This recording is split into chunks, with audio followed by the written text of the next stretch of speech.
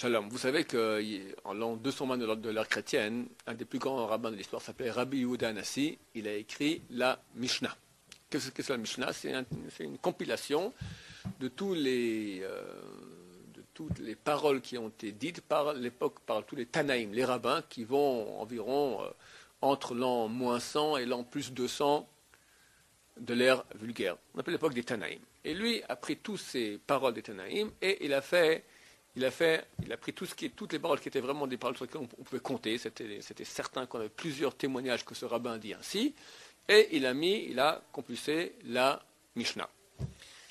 D'autres paroles qui étaient aussi très bonnes, mais que euh, Rabbi Yonasi n'a pas mis dans la Mishnah, on constitue, ce qui s'appelle la, la Tosefta. On appelle cela Braitot. Des Braitot, ce sont des Braitot extérieurs à la Mishnah. Mais il y a les Brightot simplement qui sont comme ça, il y a des recueils de Brightot. Et il y a, parmi les Brightot, il y a un recueil qui s'appelle la Tosefta, qui sont des Brightot qui sont de qualité meilleure que le reste des Brightot. Une Brighta, des fois, elle peut se tromper, la Gemara dit, elle est Meshabashta, elle est fausse, elle est, on ne peut pas compter dessus. Tosefta, très souvent dans, la Gemara, on a des Brightot qui, des la Tosefta. Dans la Gemara, on peut voir, c'est tout à la fin de la Gemara, il y a le recueil des Tosefta. Vu que c'est une chose qui est moins connue que la Mishnah, donc il y a moins de commentaires. Mais néanmoins, vu qu'on voit que dans la Gemara, très souvent, on cite une Tosefta, c'est un livre très important. Qui a fait la, ce compile de, la Tosefta s'appelle Rabbi Hosharia. Un des grands rabbins de notre génération s'appelait le Rav, le Rav Avramsky. Et il a fait un commentaire sur la Tosefta. C'était un grand sadique. Et lorsqu'il est mort, le Rav Shach a fait son oraison funèbre et a dit Je suis jaloux de toi. Je suis jaloux parce que tu as réussi à faire la Torah dans des conditions que moi, je n'ai pas eu la chance de faire. C'était cinq ans dans les goulags en Sibérie.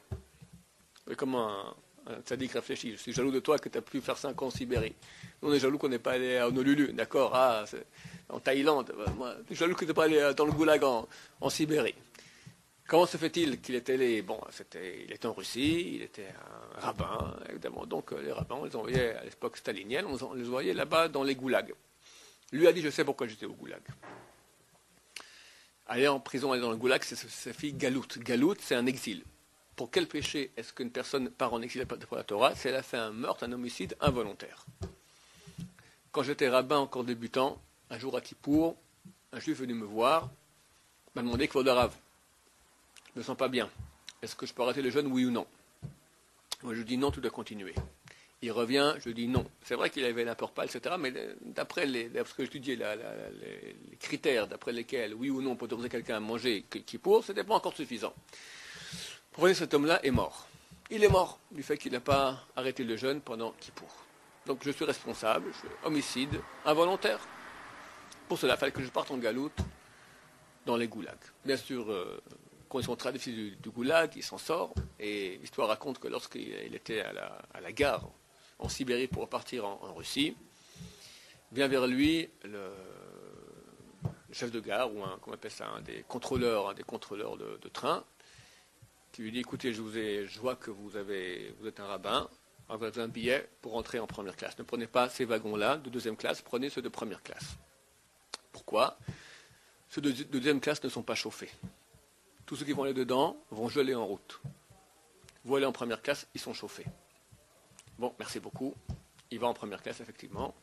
Et il voit quand on arrive après le premier arrêt, il voit qu'on sort des corps gelés, morts, dans les des wagons de deuxième classe. Il marche même que, leur nom soit effacé de ces Russes, d'accord, qui, même les prisonniers qui quittaient la Sibérie, euh, qui devraient repartir maintenant, ils ont purgé leur peine, alors on les tuait en route comme ça, par l'arme russe préférée, le froid.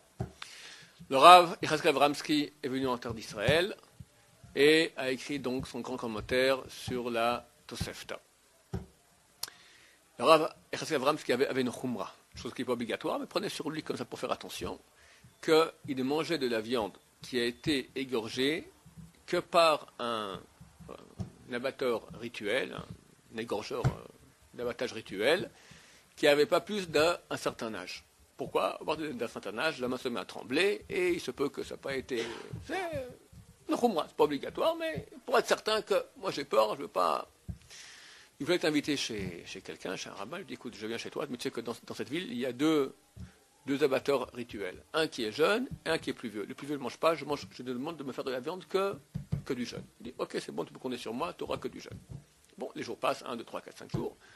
Sixième jour, on amène le repas, une sorte de soupe comme ça, avec un peu de viande dedans, et tout à coup, il voit une fourmi qui flotte comme ça sur la soupe. Il ne se sert pas. Le rabbin lui dit, vous ne mangez pas de la soupe? Non, non, euh, il y a une fourmi. Bon, ok, on va enlever la fourmi. S'il y a une fourmi dans une soupe, on peut manger la soupe, c'est pas. Il dit, moi je sais pourquoi la fourmi est venue. Vérifiez maintenant qui a fait l'abattage rituel. Est-ce que c'est l'abatteur jeune ou l'abatteur vieux? On allez vérifier, effectivement, c'est l'abatteur vieux, c'est une viande qui est venue de l'abatteur plus vieux. Du ciel, on a sauvé le Rav bien que ce n'est pas une chose obligatoire, mais quand quelqu'un fait attention sur lui-même pour une chose, alors du ciel, on l'aide pour cette chose. Adonai, Amen, bonne journée.